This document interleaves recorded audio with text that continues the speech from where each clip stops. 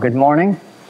Welcome to Open Door Church. Uh, you know, Scripture says that we're to make a joyful noise unto the Lord. I've always thought that was probably referring to people that sing like I do as far as being a noise, but as I heard you visiting out here, I thought, no, that's a joyful noise. For the people of people to be able to come together and encourage one another and just uh, greet one another in the love of the Lord. And so this morning we pray that you'll be encouraged. We pray that you will be strengthened in your faith and that you'll draw close to the Lord. We certainly, as we come to worship Him in song, that's an opportunity for us to lift our voices up in worship. And so join with us in that in just a moment and let God be glorified. Pray with me, please. Dear God, we thank you for this day. Thank you for each person who is here, Lord. I do pray that you'd, you would draw each of us to yourself and that you would be glorified in us as we open our mouths to sing your praises. Lord, I pray for Chip and Jan and Lisa as they lead us in music and just pray, Lord, that you would fill each, fill each one of us with your Holy Spirit. Lord, that all that we do may be glorifying to you. Bless us one and all. And Lord, we pray that the name of Jesus might be lifted high. For we pray in his name.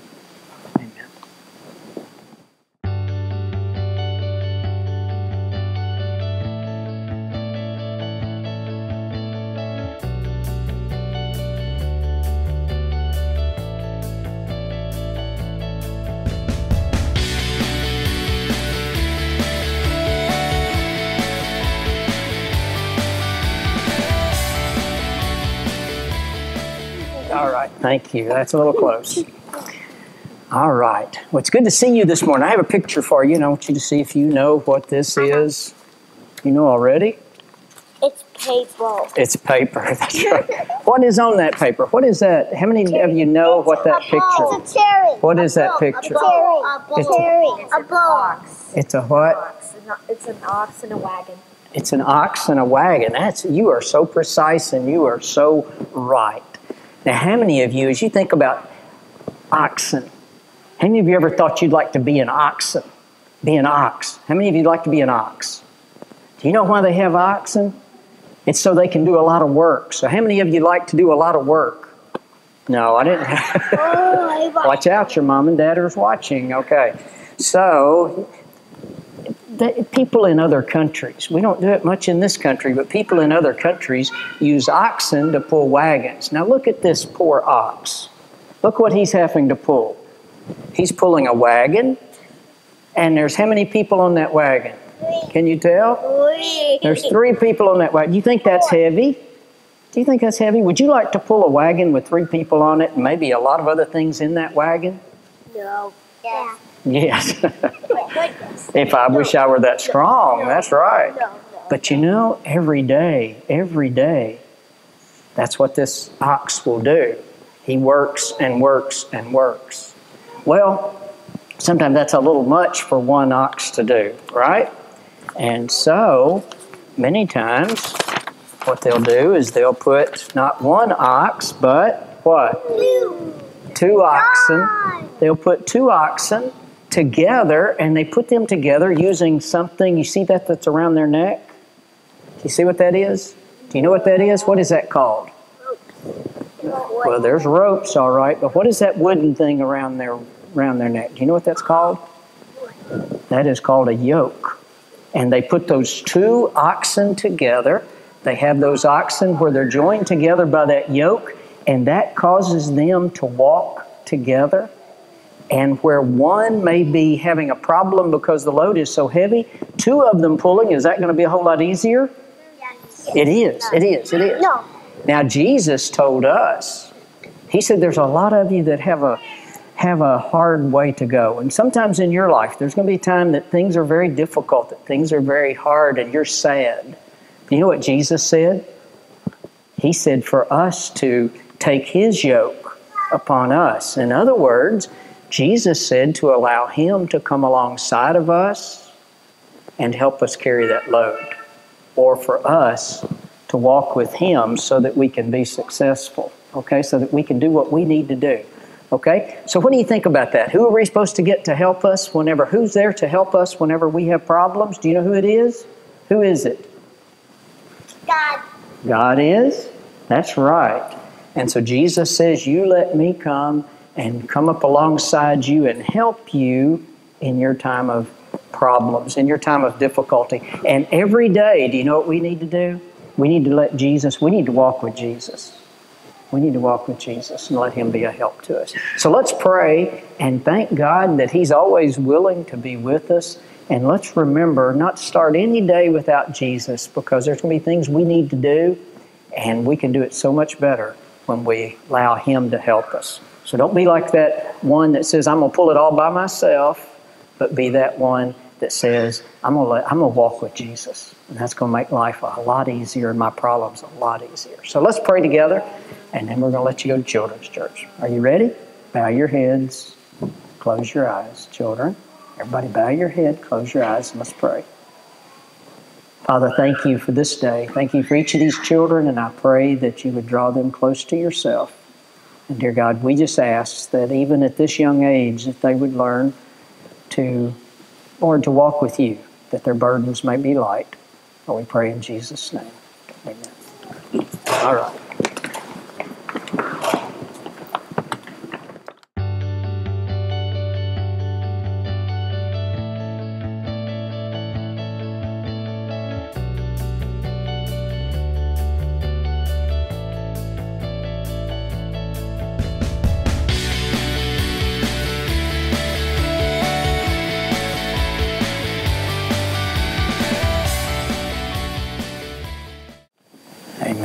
Ask you a question. Have you taken a few minutes this week to pray for our nation?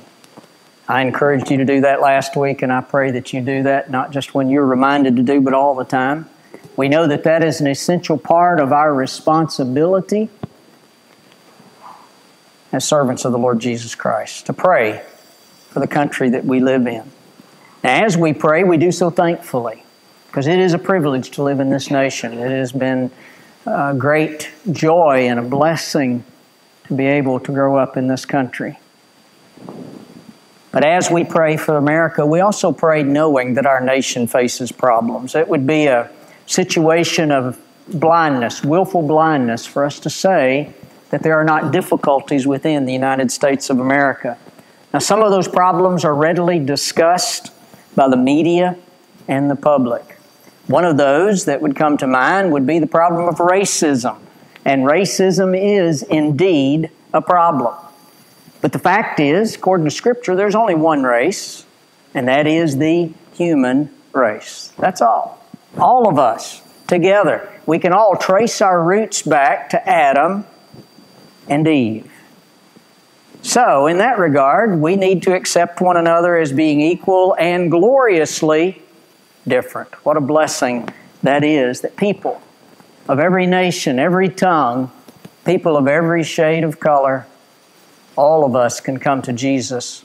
All of us can give praise to God. Now, there are, of course, problems facing our nation which we as a nation bring upon ourselves. Often we embrace short term solutions for problems that we have created ourselves or problems even that have come upon us. And those short term solutions quite often create long term problems. And I'll just give you an example. I don't want to talk about this long, but the problem that maybe we can all agree on that is there that we have brought upon ourselves as a nation, and that is the problem of governmental debt. Now, government at every level has created a problem for itself and for all of us by incurring debts which cannot be paid. And the numbers are staggering. One of our members this last week pointed out to me that our national debt is now over $155,000 per taxpayer. Per taxpayer. And it's growing every second. It's, it's a, if you want to get anxious, just look at the national debt clock. Just look at it. For I, I just, you know, five minutes, just look at it and I guarantee you there'll be an anxiety creep into your soul about the situation that is there before us.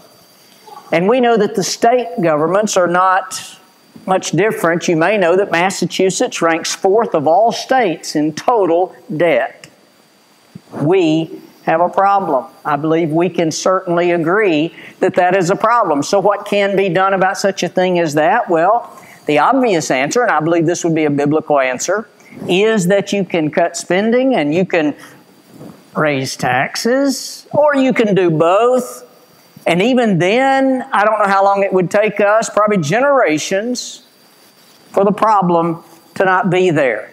But you know that the reduction of spending and the raising of taxes are both unpopular with us, unpopular with the people. Now, I mean, we don't mind them raising taxes on somebody else, just don't take any more money out of my paycheck and all will be well. And the politicians know that and they want to get reelected. So, what do our governments do? Politicians talk about the problems and do nothing, and our debt escalates. Our state governments have decided to solve some of their problems, their financial problems, by providing lotteries and casinos so that people, some people say this is a voluntary tax. Nobody forces you to go to the casino, nobody forces you to, to uh, these state lotteries. And so you're voluntarily taxing yourself. In other words, what the government has said, at whatever level that's taking place, they're saying, let's solve our problems by appealing to the individual's desire for an easy fix, or to their greed, or simply to their irresponsibility. Let's do that to our citizens. Let's give them opportunity to be irresponsible, and that should work. But has it?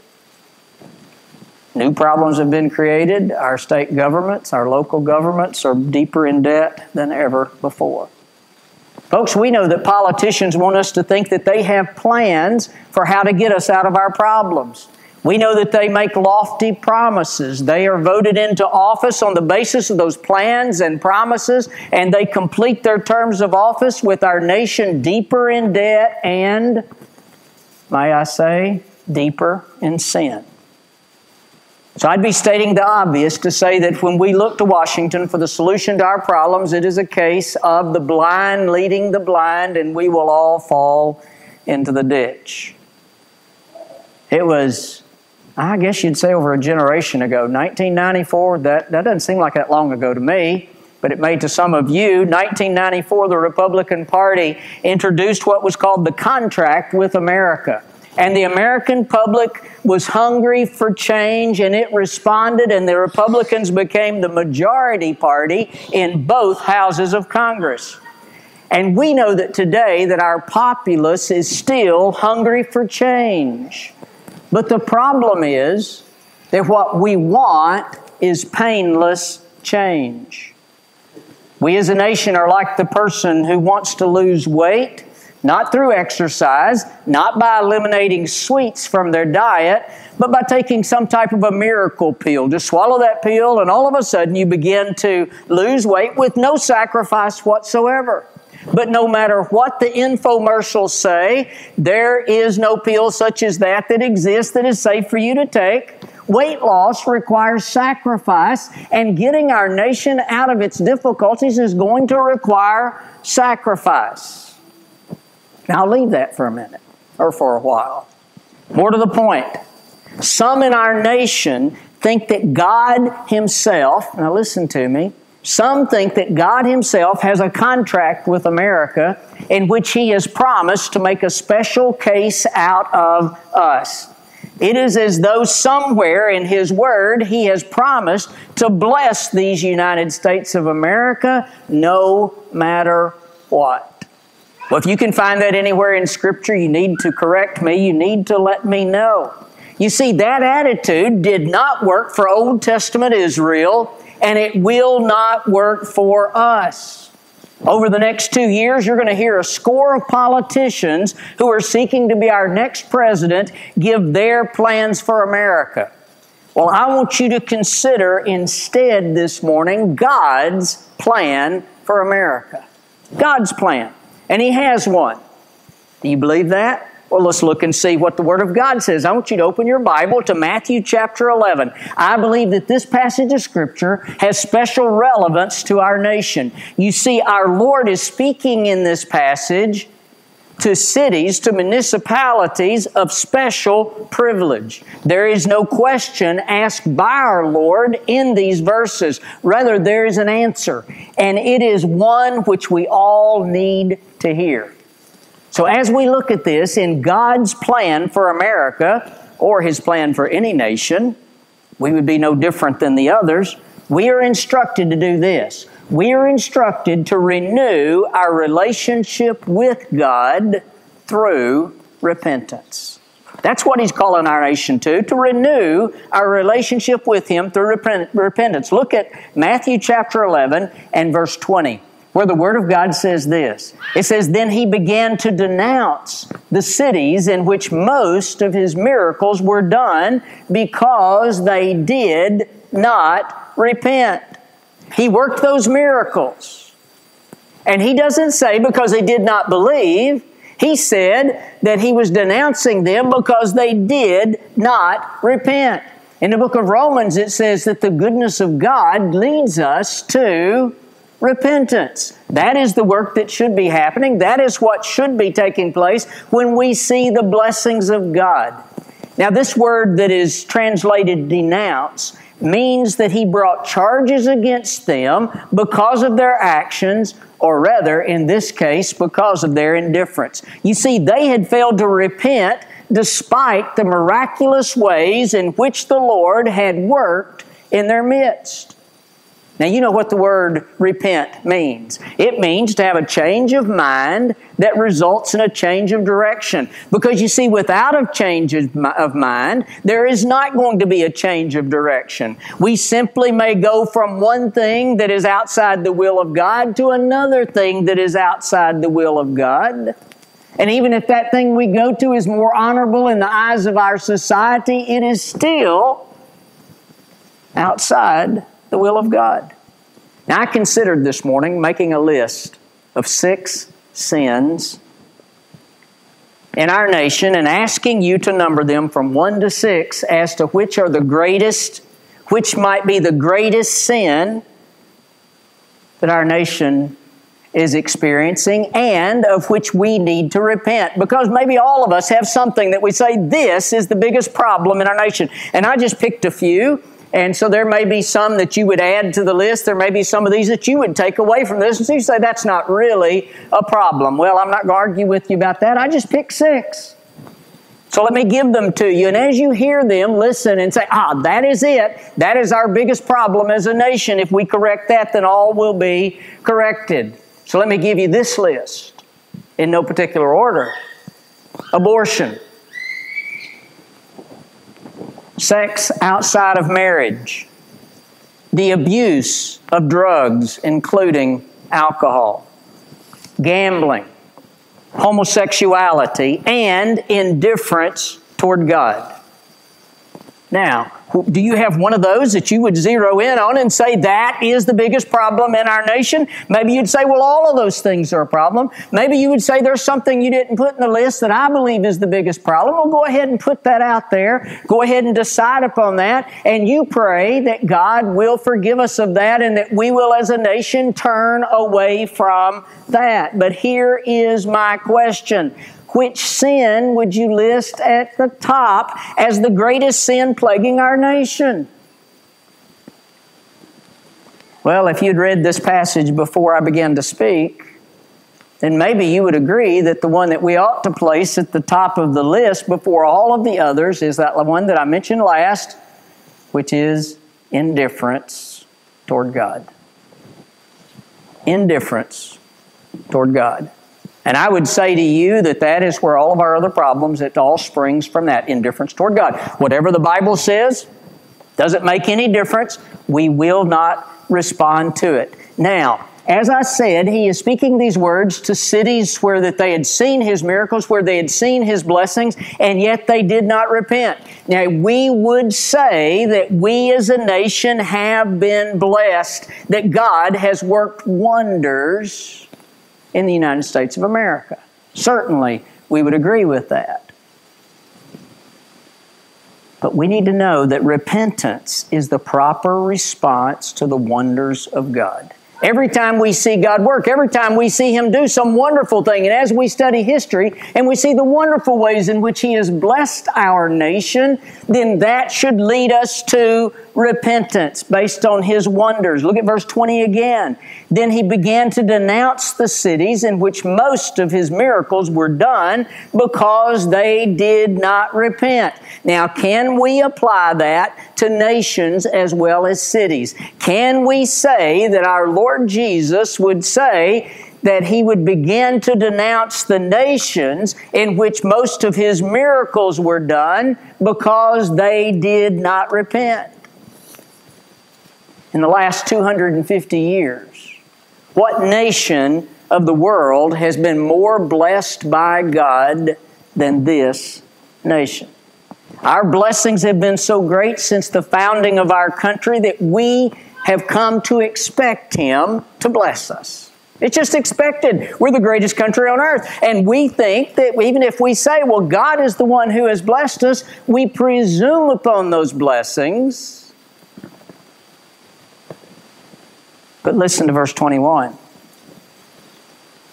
Jesus said, Woe to you, Chorazin! Woe to you, Bethsaida! For if the miracles had occurred in Tyre and Sidon, which occurred in you, they would have repented long ago in sackcloth and ashes. Chorazin and Bethsaida were cities that were rich and flourishing cities into which the King of Kings went working miracles.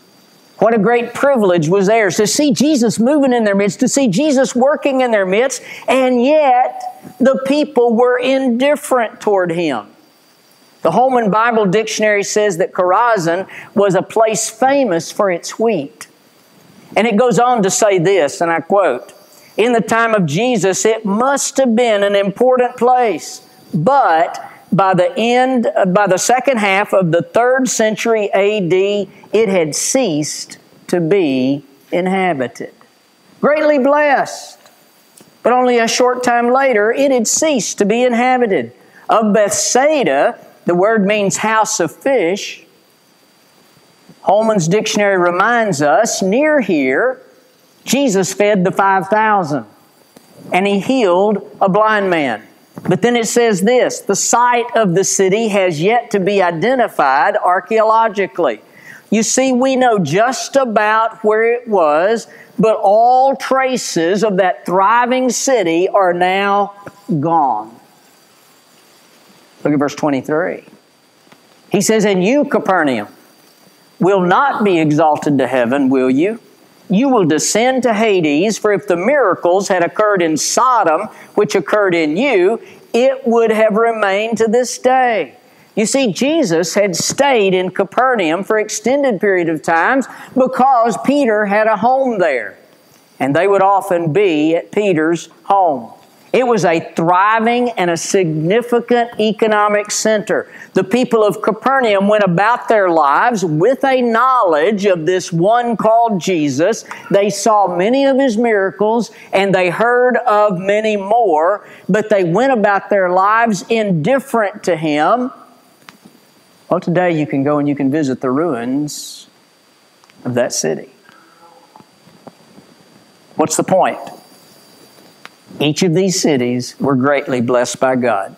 They were important and they were prosperous cities. They were the site of many miracles that Jesus performed, but there was a problem. They did not repent, and soon they were swept away into ruin. How should they have responded? Jesus says that the wonders of God performed in their midst should have brought them to a place of repentance. Need I say to you that in God's plan for America, we are instructed to renew our relationship with Him through repentance. That's what it's going to take in America. Not some politician with some plan, but God's plan. And His plan is that we as a people recognize the blessings that God has brought upon us and that we as a nation repent. That is the proper response to the wonders of God. Secondly, repentance is the proper response to the warnings of God. It said in verse 22, which I skipped, it said, Nevertheless, I say to you, it will be more tolerable for Tyre and Sidon in the day of judgment than for you. Tyre and Sidon were Phoenician cities where Baal was worshiped. Their residents were despised by the people of Israel because of their pagan religion and because of their lifestyle. To say to these people that it will be more tolerable for Tyre and Sidon in the day of judgment than for you was quite a stunning remark. But Jesus is the one who said it. Now, think of those nations in our world today that you would consider to be evil and apply this truth. You remember President Reagan and his axis of evil? Consider those nations that you would consider to be evil and apply this. And would Jesus not say to America in the day of judgment, because of the great blessings that you have received, because of the great opportunity that you had, will the judgment not be greater for you than for these? Listen to verse 23. And you, Capernaum, will not be exalted to heaven, will you? You will descend to Hades. For if the miracles had occurred in Sodom, which occurred in you, it would have remained to this day. Nevertheless, I say to you that it will be more tolerable for the land of Sodom in the day of judgment than for you. Sodom? We have all heard about Sodom, and we know that it was destroyed for its wickedness.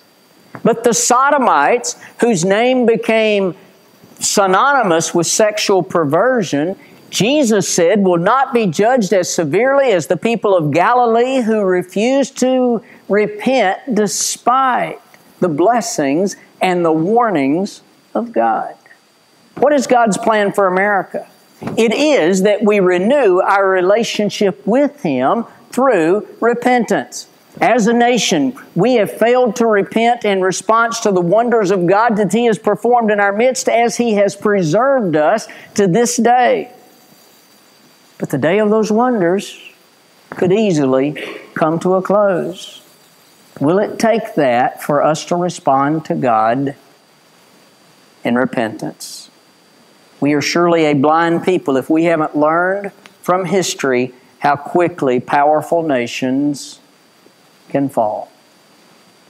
In God's plan for America, we are instructed also to revive our relationship with Him, a relationship of revelation, and respond to that revelation.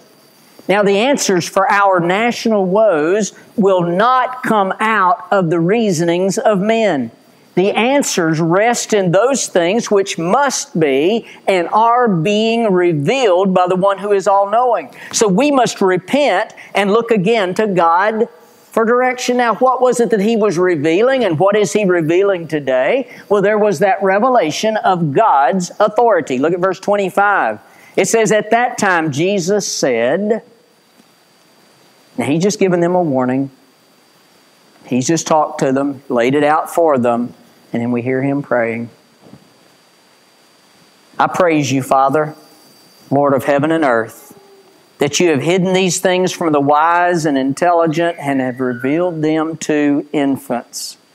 Yes, Father, for this way was well pleasing in your sight. Now, what is Jesus saying? He is saying that we must all come like innocent babies who know enough to cry for someone to help us in our time of need. There are those who consider themselves to be wise and intelligent in the ways of the world, and they are going to continue to search for answers.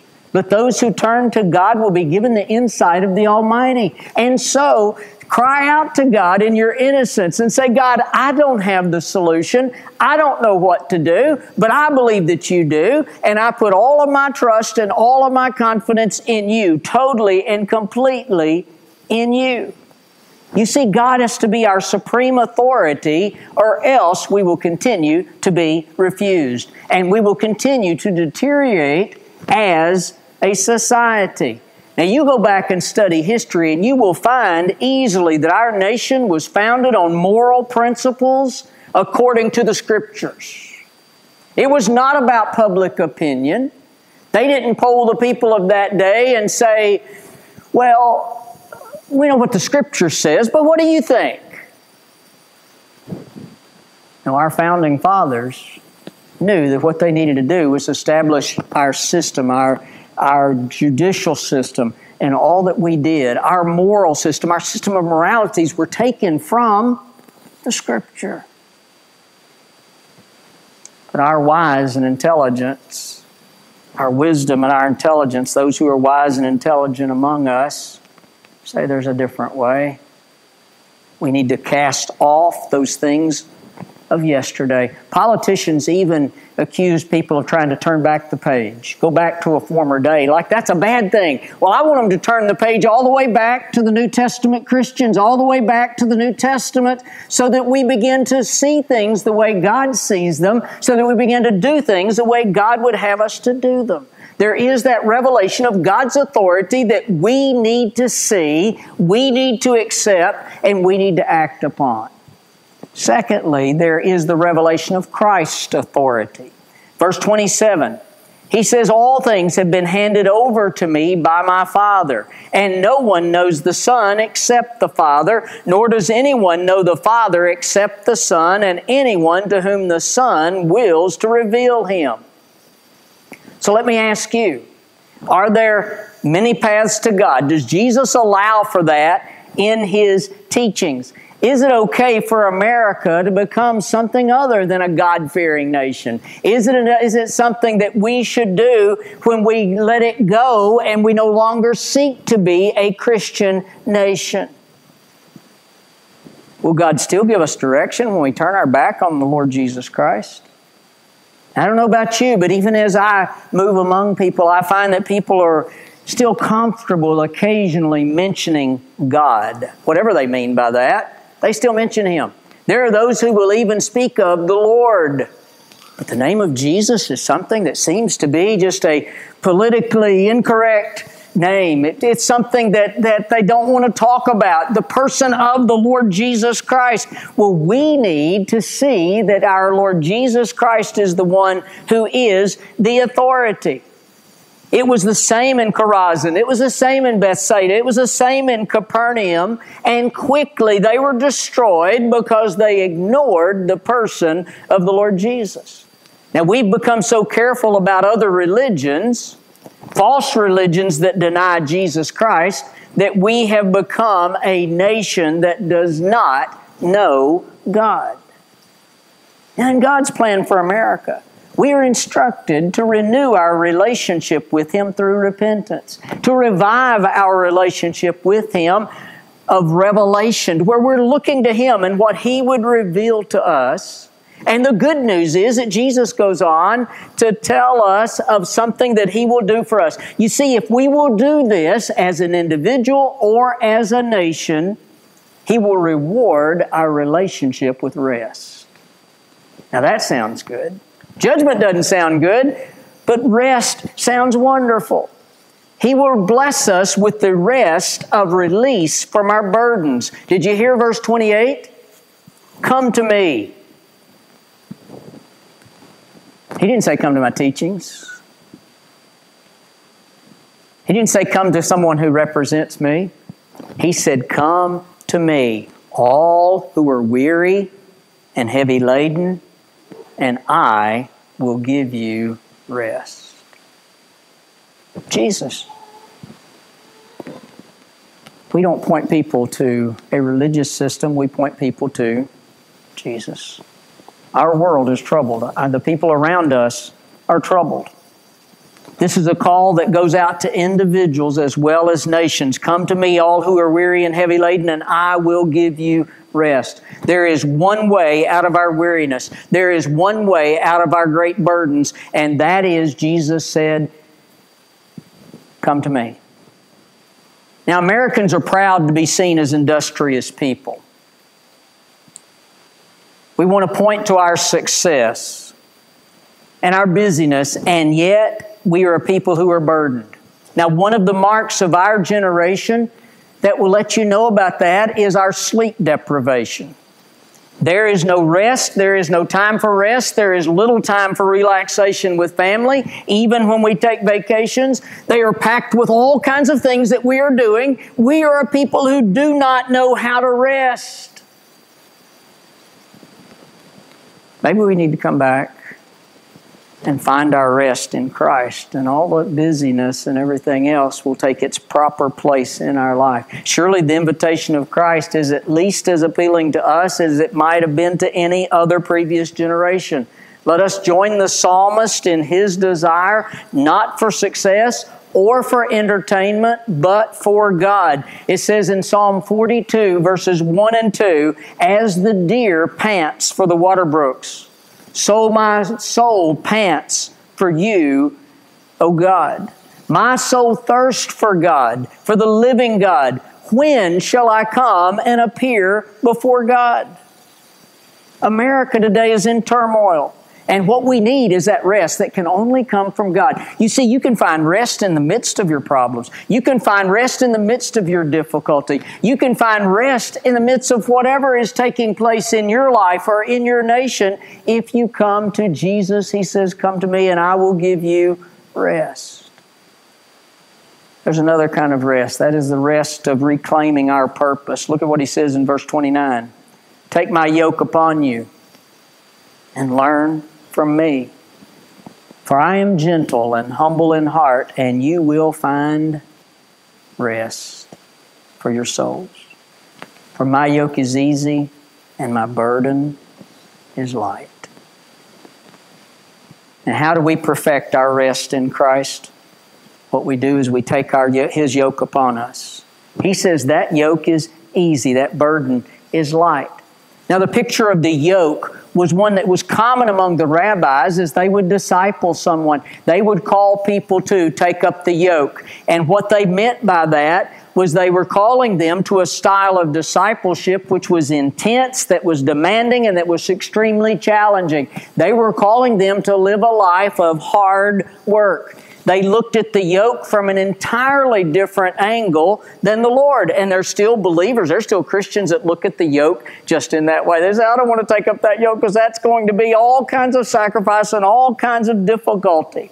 But look at what Jesus says. He equates that yoke that the rabbis equated with difficulty and hard work and perseverance. He equates that with spiritual rest. In his picture, the yoke was seen to be used to couple oxen together so that they would each have a companion in the task and work would be much easier. So Jesus said, Take my yoke upon you. He didn't say, I'm going to come and take your yoke. He said, You take my yoke. It's not me saying, Okay, Lord, come and help me. It's about me saying, Lord, let me join you. Let my life be about your purposes. Let me get in yoke with you that my service may be blessed, that I might be able to know you in a personal way. Can you imagine those two oxen walking together? In Brazil, we saw the ox, the teams of oxen that were used to pull wagons. And there were times that those oxen didn't get along very well and they didn't get any work done because the owner of the oxen had to, had to make peace between them. And if you are resisting Christ and what He's doing in your life, you're not going to make much progress either. If you'll come along and join Him and let Him guide you. And usually, what they'd do is they'd put a, a young ox next to a more mature ox, ox, and that more mature one would teach the ways to the younger one so that they would walk together, so that they would pull together, so that they would work together. And as you see them walking down the streets, they weren't struggling and groaning. They were just going on about it, and it seemed like it was as easy as anything, no matter what kind of load that they were carrying. Jesus says, Come to me. Take my yoke upon you. Because you see, he says, then you'll find rest for your souls. And that's what He's inviting each of us to do. When we get in harness with the Lord, we're going to know the joy of great accomplishment.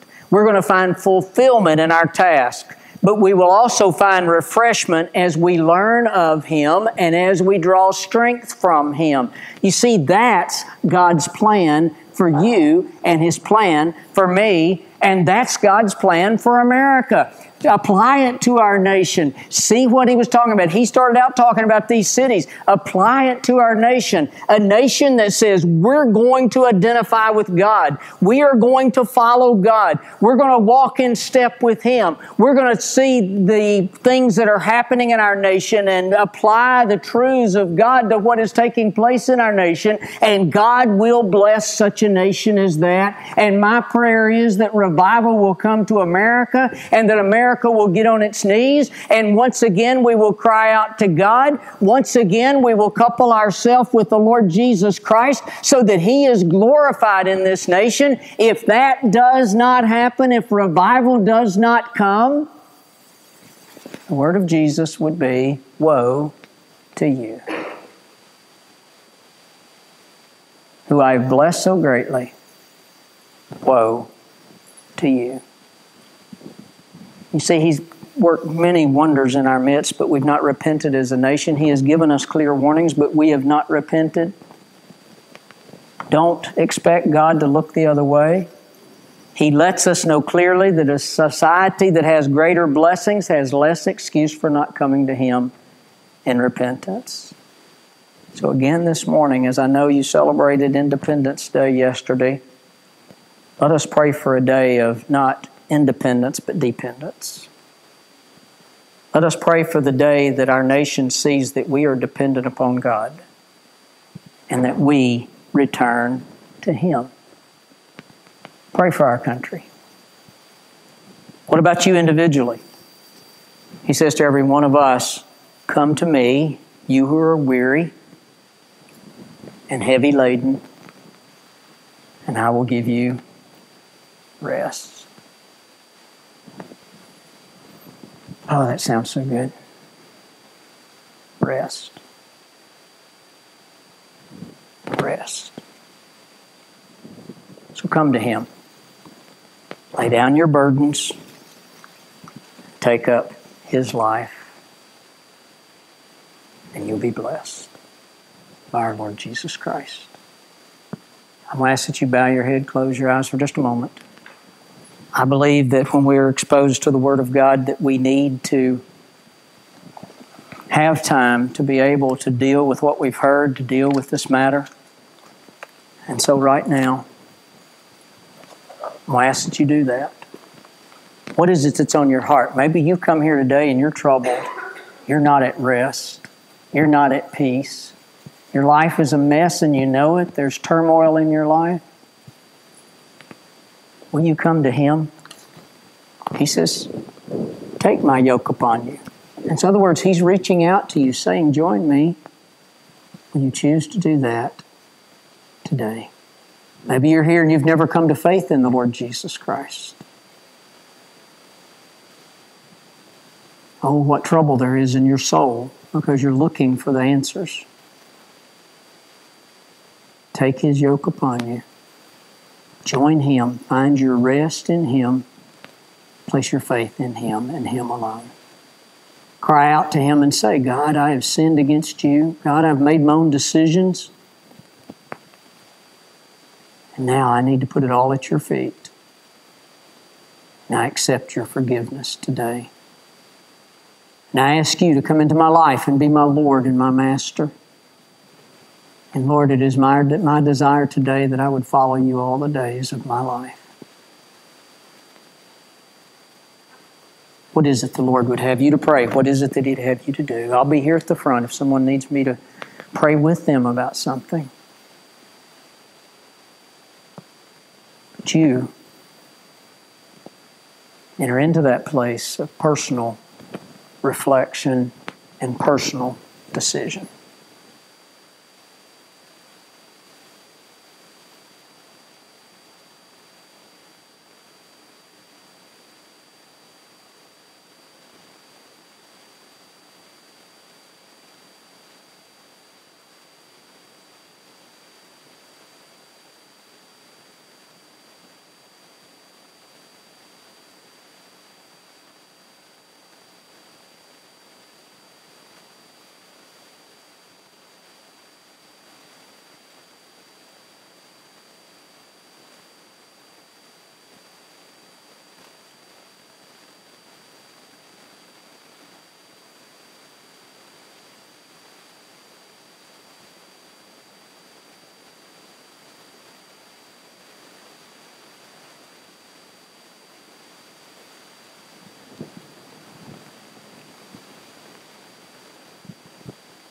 Father, I pray that you would bless your word.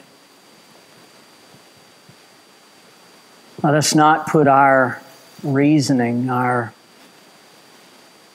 own prejudices, our own values ahead of you. But, dear God, let us see things as you see them. Let us respond as you would lead us to respond. And let us pray. Father, right now, along with others who are burdened for our country, I pray for the United States of America. Lord, I pray that revival would come, that our nation would return to you. Dear God, I trust you and, and I just pray you'll do whatever in your wisdom that you would do to bring the people to yourself because we know that this is a matter of eternity.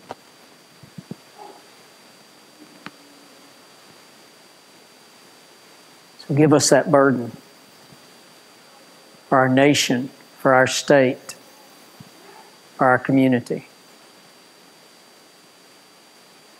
And Father, I pray for that soul that is here today that has come troubled, distressed. I pray, dear God, that they would let you be their peace as they turn from their own reasonings and allow you to give them comfort and strength. I pray that you'll do this in a way that glorifies yourself. For Lord, that is our greatest purpose, that we might glorify you. And Lord, I pray in every time that we are anxious, that we will trust you and we will turn it over to you but that we will not close our eyes to that which is going on around us.